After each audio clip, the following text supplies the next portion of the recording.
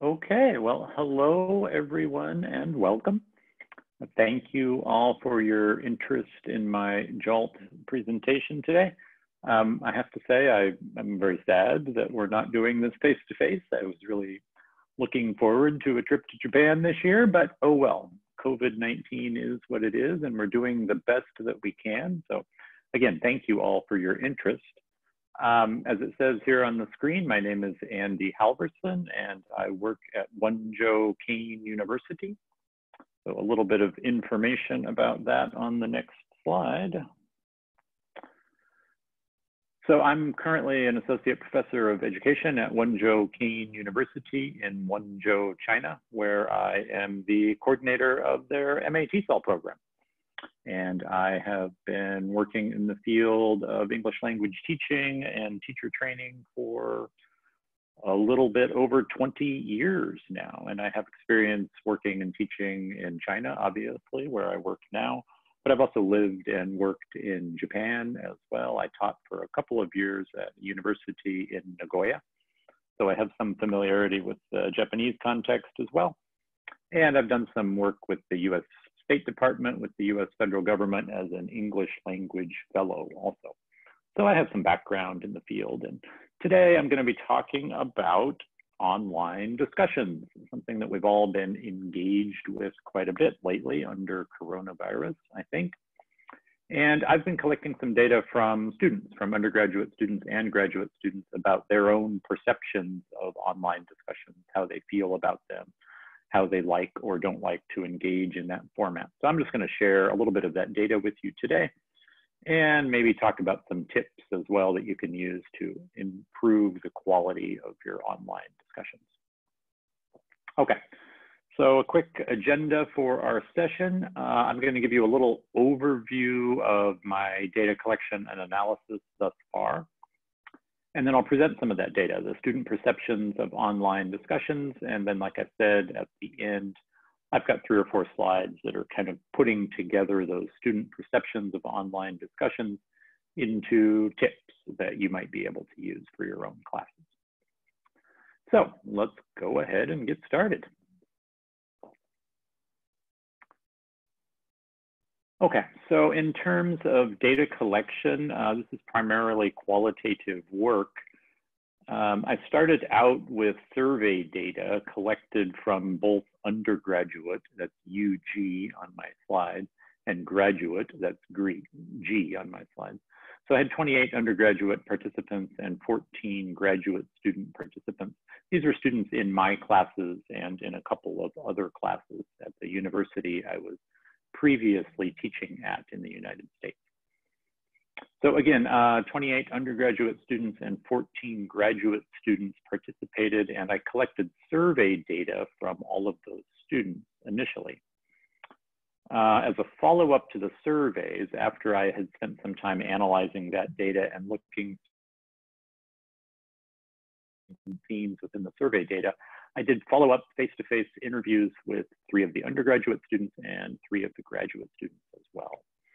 And it's really that interview data that I'm going to talk about today. I've pulled in a couple of highlights from the surveys as well, but primarily what I'm showing you today is interview data around my work with those three undergraduate and three graduate students. So I want to give you just uh, some background for the context for both of these student groups because as you know, with qualitative data, context really matters. So I just want to make clear who these students are. Uh, undergraduate students that I was working with, these were three advanced level um, non-native speakers of English studying in a TESOL methods course. And at this time, because of the early onset of coronavirus, we had moved fully online. So this is a TESOL methods course for undergraduate students that was fully online. Um, Non-native speakers, as I said, uh, two of them were Chinese and one of them was Korean. And they were studying, again, in the United States at the university where I previously worked and taking teacher training courses. And for the most part, the undergraduates had very limited online learning experience prior to COVID. Uh, in China and in Korea, they had had very little experience with online courses. At the university in the United States, they'd had some exposure to Blackboard and Canvas, but limited. So the undergraduates had quite little experience with online education and online discussions. Graduate students, again, three advanced level non-native speakers studying in a TESOL methods course, fully online. These are Japanese and Chinese background students.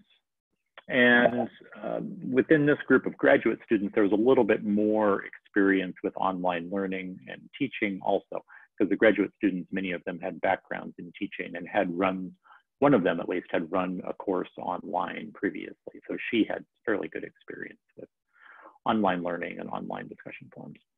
Okay, so that's just a little context, who these students are, what they know and what they don't know going into the research. And like I said, context is important because if you're reviewing this kind of research, you want to make determinations about your own context and whether the work that I've done matches with your own similar context or not. Okay, uh, so just a minute. Think about this for a second. Probably all of you have had some experience at this point with the use of online discussions, either as a teacher or as a learner. How has it gone? What kind of challenges have you faced? What kind of positive experiences have you had? What kind of negative experiences? How has that gone up until now?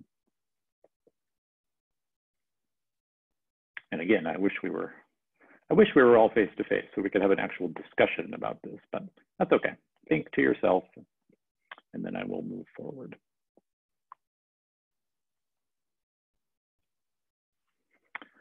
Okay.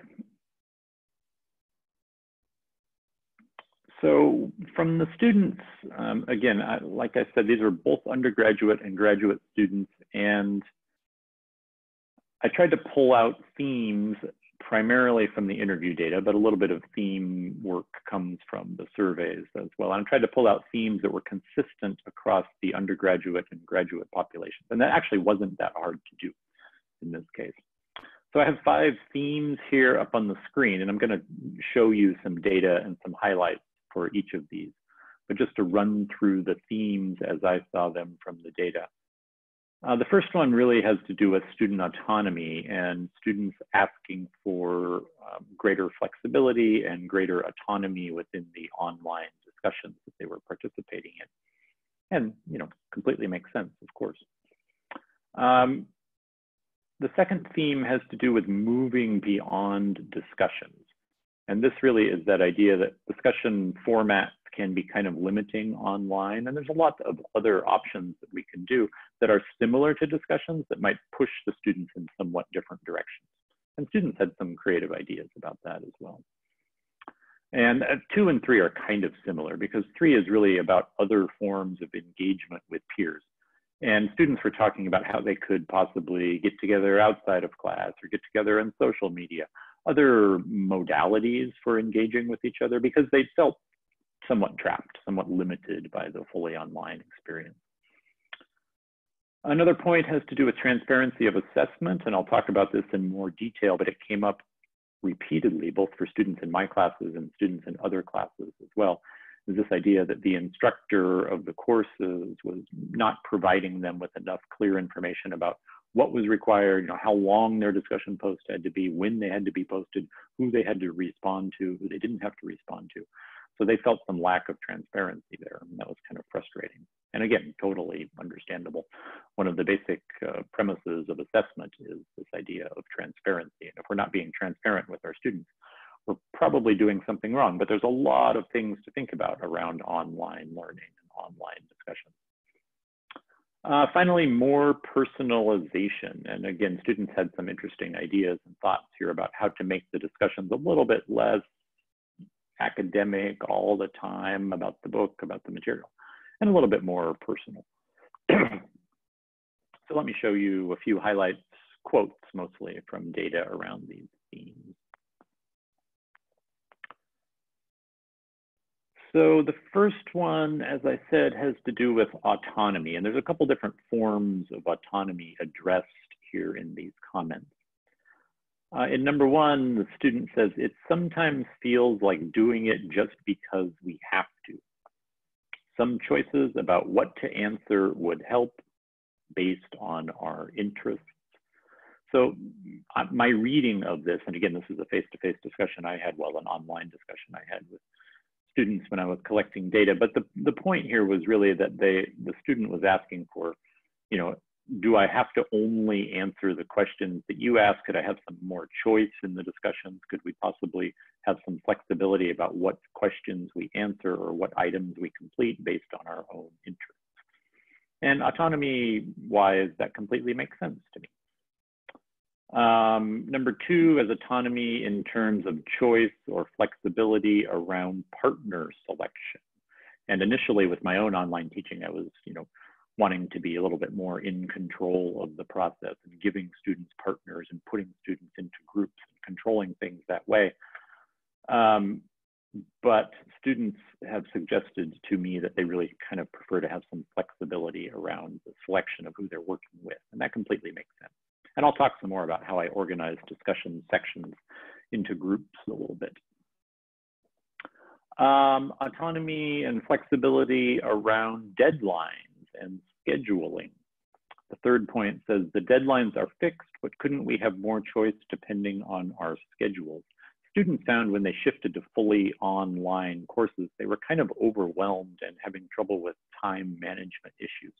So they were asking for this idea of you know, if I need to complete this class on Wednesday, but my next online class is happening on Wednesday at the same time, how am I going to manage my deadline and my participation in the other course? They were just asking for flexibility and autonomy and choice around deadlines. Again, completely makes sense to me, but not something I would think about without listening carefully to my students. Uh, moving beyond discussions, why don't we do the assignment in the discussion and talk about that? Um, this is something I have moved towards in my own online discussion. The idea that they can do some exercise in your textbook or participate in some kind of activity or assignment that you have for them, and then share that in the discussion and discuss about that. So it's the integration of the assignment work with the discussion section, which I had not been doing in the past, which I, like I said, do find myself doing more. Uh, and this point number two, the structure each week is the same for discussions. Could we do something else? Just being a little bit bored by the format each week. There's only one quote here, but in terms of other forms of peer engagement, I thought this was interesting. Um, it's not an uncommon comment to have something like the first sentence here, right? I feel like I miss my classmates. Of course, when we all shifted fully online, people were isolated and frustrated. But just online discussion doesn't get us to talk. I think we should add to online discussions with face-to-face -face discussions on WhatsApp or something, some way that feels normal to students. Just being in Canvas and writing is not as fun. Students were just asking for social engagement in some kind of face-to-face, -face, you know, this is virtual face-to-face, -face, of course, but maybe through your computer on uh, some platform using for social media, like WhatsApp, for example, just something that's a little bit more relevant to their own experience. And then this point about assessment transparency I mentioned earlier. Uh, first quote, in your class it is clear, but in other classes I don't know how much to write or what to say exactly. And uh, I only included one quote here, but I heard this from almost all of my participants. They were frustrated because they felt like there was a lack of direction or clarity about where they needed to go and what they needed to do with their online discussion performance. So I think it's important, and I'll share some examples of this to provide examples and clarity and transparency to your students. Uh, number two is about models or samples, and number three is also about samples.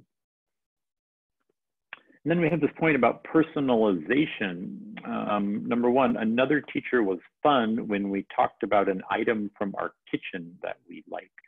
So this was a point a student was making in the interview uh, in another class. A teacher just kind of asked them to walk into their kitchen and find a tool that they use a lot in the kitchen, bring it back to Zoom and let's talk about that thing. Why is it valuable for you? It was just this simple idea that they, they were making the learning a little bit more personal, personalizing the experience. Number two, I think discussions could be better if we talked more about our lives and not just about the work in class. Maybe each week we could have an academic discussion and then one personal discussion too, or something like that. Again, with COVID, people isolated at home, they want to have that personal connection, and this makes sense to me, absolutely. So um, those are some of the themes in the data, and I just want to talk for a couple of minutes about how to maybe translate some of those themes into tips for managing online discussions. And that's not too hard to do, I don't think. So tip number one has to do with deadlines and assignments. And my recommendation is to have some assignments due, um, discussion forum requirement assignments due at the midweek and then again at the end of the week. That gives students some choice and some flexibility. It also spreads out your grading a little bit as a teacher, and you know that's a positive thing. Avoid procrastination by learners and allows for more formative feedback from peers and instructors. But you don't need to very rigidly say, you must post on Wednesday, you must post on Friday. Give them a window, give them three or four days to do the post by, another three or four days to write their responses by. But give them flexibility in there, and I think students will appreciate that. Uh, groups and leaders. Online discussions do not have to be with the entire class. They can be divided up into groups of three to six people. I like working with four, but I often in my on, on my online platform, be it Canvas or Blackboard or whatever it is, I divide the discussions into smaller groups. So this, the group discussion as a class of 20 or 25 or whatever becomes a small group discussion of four, five, six individuals. And students respond very positively to that. It shouldn't be only that. You can balance that easily with whole class discussions as well, in my opinion. Um, group leaders, discussion leaders can be a way to shake up the discussions a little bit, just give some variety to the discussion and give a little bit more responsibility to students as well. Assessment transparency, um, a couple things are really important in online discussions.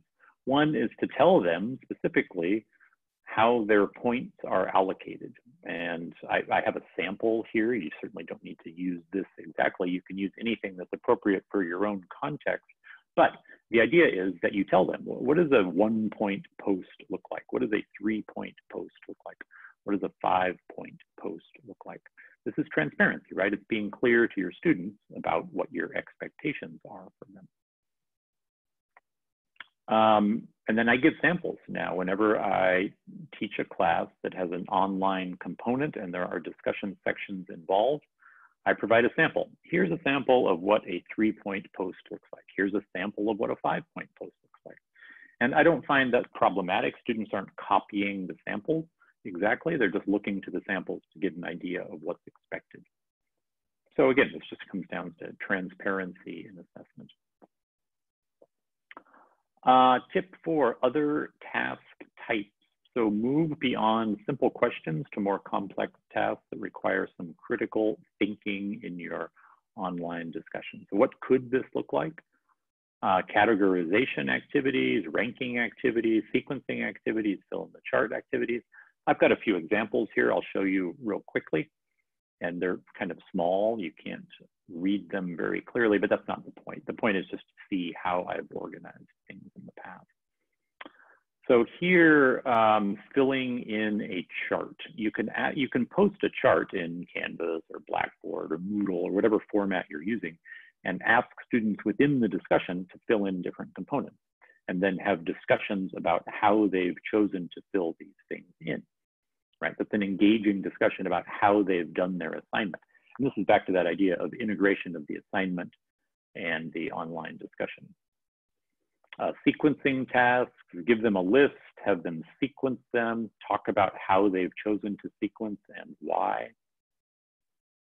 Categorization tasks, give them a group, give them a collection of things and have them put them into categories. You've probably done something like that in the classroom as well, but there's no reason they can't do that in an online discussion.